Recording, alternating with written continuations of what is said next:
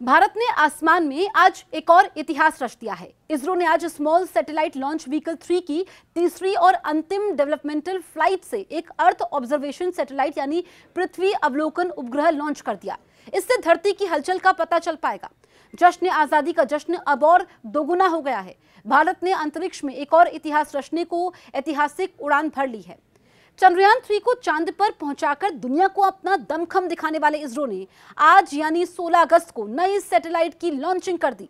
जी हाँ, इसरो यानी भारतीय अंतरिक्ष अनुसंधान संगठन ने अपने latest earth observation satellite EOS eight को आज सुबह सोलह अगस्त की सुबह नौ बजकर सत्रह मिनट पर सफल लॉन्च किया। इसरो के इस कदम से भारत अब धरती की धड़कन सुन पाएगा। अगर इसरो का मिशन सफल रहता है तो फिर भारत को आपदाओं की जानकारी समय से मिल जाएगी। इसे स्मॉल सैटेलाइट लॉन्च व्हीकल यानी प्रक्षेपण यान एस एस की तीसरी और अंतिम उड़ान के ज़रिए लॉन्च किया गया है।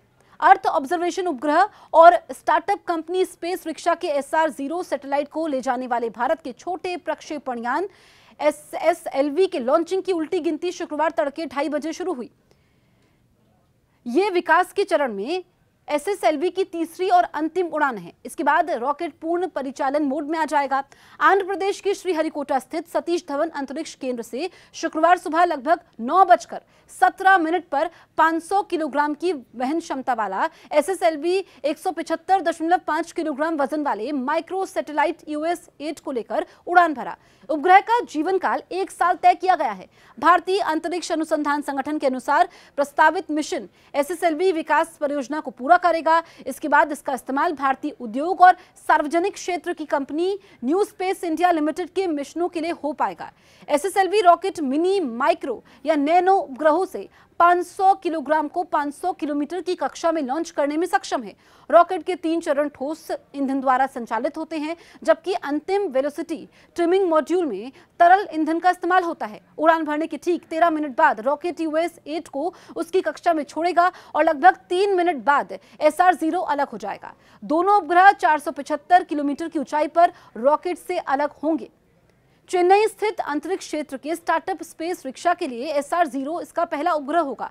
इस बीच इसरो ने कहा कि यूएस एट मिशन के प्राथमिक उद्देश्यों में माइक्रो सैटेलाइट को डिज़ाइन करना और विकसित करना शामिल है। साथ ही माइक्रो सैटेलाइट बस के साथ अनुरूप पेलोड उपकरण बनाना और भविष्य के परिचालन उपग्रहों के लिए आवश्यक नई प्रौद्योगिकियों को शामिल करना भी शामिल है। इसरो का यह मिशन भारत के साथ साथ पूरी दुनिया के लिए खास है। इसकी सफलता से भारत धरती की धड़कन को सुन पाएगा।